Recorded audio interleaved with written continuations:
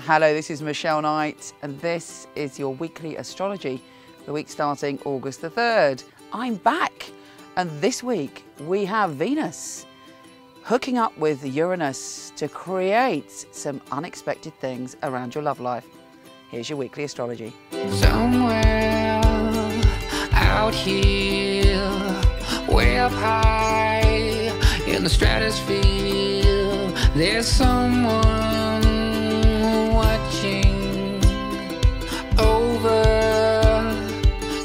Aries, this week you're very cautious about what you've got to say as Mercury is making you think about what you commit to.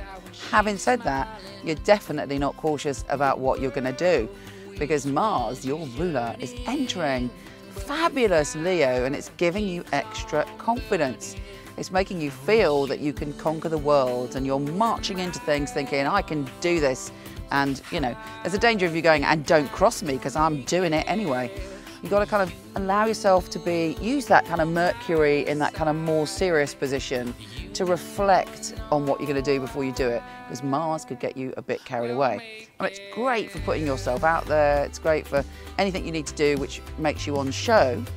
But, you know, don't be too overconfident. And I'm an Aries, so I can say that to you. Then we've got a lovely little thing happening. We have Venus, the planet of love, also in a very confident position for you trining Uranus, the lord of the unpredictable, in your sign.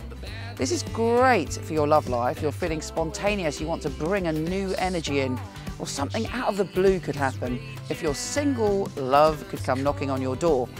And there's a part of you that just kind of is feeling very loving towards the world.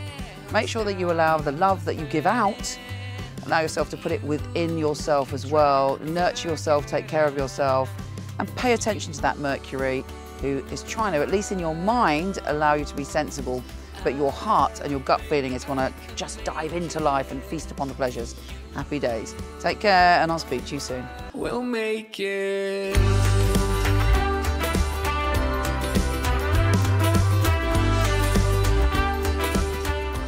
I bring exciting news. My brand new website is up, which has loads of fabulous free articles, free readings, and all sorts for you to explore.